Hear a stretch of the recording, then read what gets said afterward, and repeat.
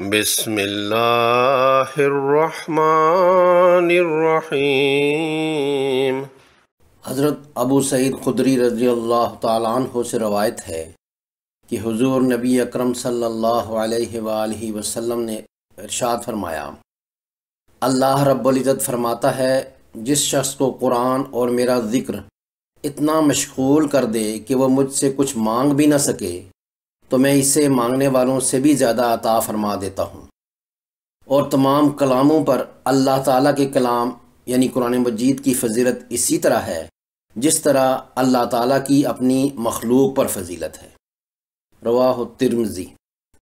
अल्हम्दुलिल्लाह रब्बिल आलमीन, वस्सलात वस्सलाम अला सय्यिदिल मुरसलीन व आलिहि अजमाइन। अस्सलामु अलैकुम व रहमतुल्लाहि व बरकातुहू तजवीद अलफ़ुरक़ान उर्दू चैनल में आपका खैर मकदम है।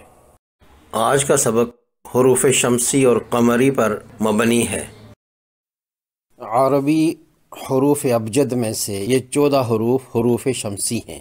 ता, सा, दाल, जाल, रा, जा, सीन, शीन, स्वाद, द्वाद, त्वा लाम और नून।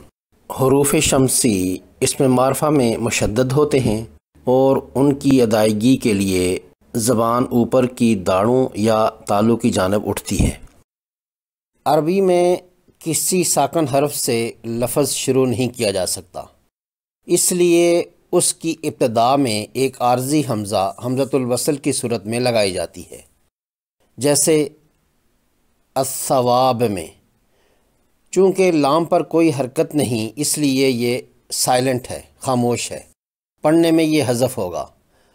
दूसरा अहम नुक्ता ये है कि ज़बर, ज़ेर या पेश के बाद अगर सुकून यानी जज़म या तशदीद आए तो दरमियान के खाली हरूफ नहीं पढ़े जाते।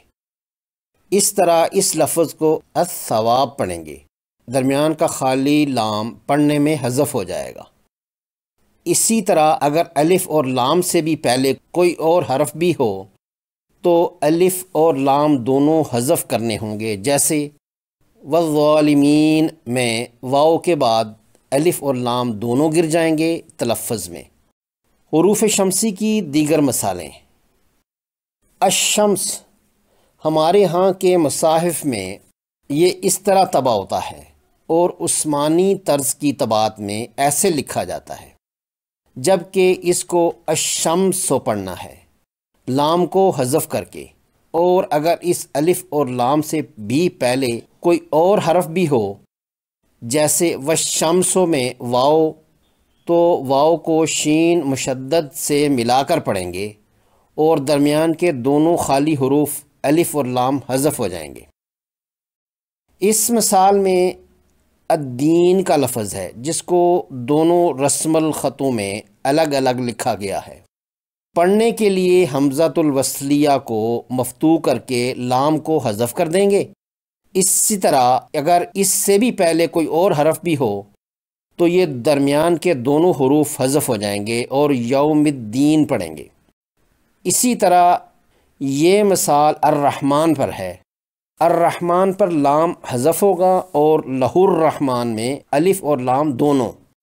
अनूर की अदायगी में लाम हज़फ करना होगा, जबकि इलन नूर में अलिफ़ और लाम दोनों हज़फ हो जाएँगे। अतवाब में लाम और होवतवाब में अलिफ़ और लाम दोनों गिर जाएँगे पढ़ने में। हरूफ अबजद में से बाकी के चौदह हरूफ कमरी हरूफ कहलाते हैं। कमरी हरूफ में मुश्तरक ये है कि इनकी अदायगी के लिए ज़ुबान ऊपर की दाड़ों या तालू से नहीं लगती है। इसमें मारफा यानी प्रॉपर नाउन में ये मुशद नहीं होते। इन हरूफ से उर्दू का एक फ़िक्रा बनता है, हक का खौफ अजब गम है। इस फ़िक्रे के सारे हरूफ कमरी हैं, इस तरह इनको याद रखना आसान है। कमरी हरूफ से पहले अगर अलिफ और लाम आए तो दोनों को पढ़ा जाएगा, और अगर इनसे भी पहले कोई और हरफ हो तो उस हरफ को लाम साकन से मिलाएँगे। और खाली अलफ दरमियान वाला गिर जाएगा। जैसे अल में अलिफ को ज़बर वाली हमज़ा बनाकर लाम मजूम से मिलाकर अल अरोइक पढ़ेंगे। और इसी अलिफ और लाम से पहले आला का लफज भी आए तो दरमियान वाला अलिफ हजफ हो जाएगा। और तलफ़ करेंगे अल अरोइक इसी तरह हरूफ कमरी की दीगर मसालों में से है अलकिताब लाम मजूम का तलफ़ किया गया है और वल किताब में वाओ के बाद का अलिफ छोड़ दिया गया है। कुरानी कलमा अलबरार उर्दू मसफ़ में ऐसे लिखा होता है। यही कलमा उस्मानी रस्म ख़त वाले मुसाहिफ में इस तरह तबाह होता है। जब इस कलमा को पढ़ना हो तो शुरू के अलिफ को फ़तह देकर अरबरार पढ़ेंगे। और अगर इससे भी पहले कोई और भी कलमा आए तो उस कलमे के आखिरी हरफ को मजूम लाम से मिलाकर पढ़ना होगा। इस सूरत में दरमियान में आने वाला अलिफ हजफ हो जाएगा। अलजहर और यालमुलजहर में भी इसी तरह किया है। अलबैत को जब इला से मिलाकर इलल बैत पढ़ा तो दरमियान का अलफ हजफ हो गया।